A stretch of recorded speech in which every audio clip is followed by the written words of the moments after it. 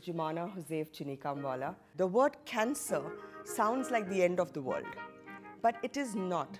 I was detected with cancer around three and a half years back. I went to different hospitals initially, but was not completely satisfied. And then my husband coaxed me to go to Dr. Shabber Zaveri only for a second opinion.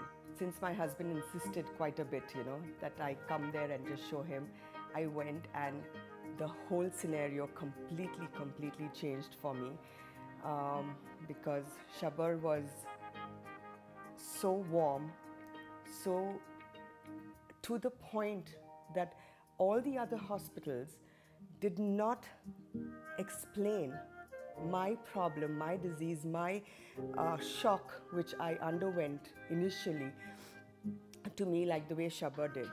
And with so much of confidence that I absolutely was sure that I was not going anywhere except for Manipal and except for Dr. Shabber Zaveri. He is a fabulous, fabulous, fabulous doctor. The journey at Manipal was extremely, extremely comfortable. The whole journey to my survival today uh, has been absolutely fabulous. Do not ignore your body. Your body is the best place which will guide you and let you know when there is something going wrong. I detected it, my problem myself. I felt that there was something amiss, and that's how I actually got around getting myself tested. And just because I did it at the right time, I had the chance of survival. I could not have completed this without the support of my family.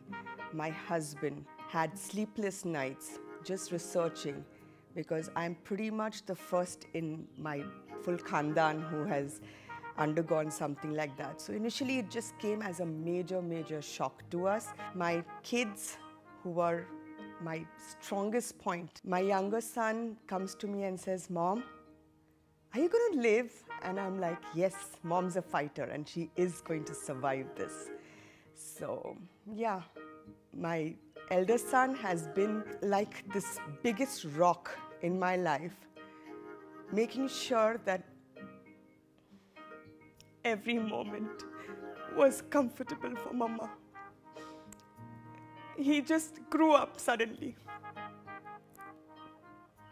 My parents, my dad, my mom. My dad believed that you're going to be absolutely okay. Without my family, I would have never been able to get this far. My doctor told me, you are going to get back to work as soon as you're going to be okay. And it was surprising that the third day of my surgery, I put my drain pipes into my purse, put my purse on my shoulder, and went to work from day three. All through my radiation, I have worked through. That's what I feel. I feel we women are so strong that if we decide up here that we want to survive, we will do it. So it's all about this inner strength of women and the power which we carry and we spread. So, as women, I would say if you decide, you can go get it.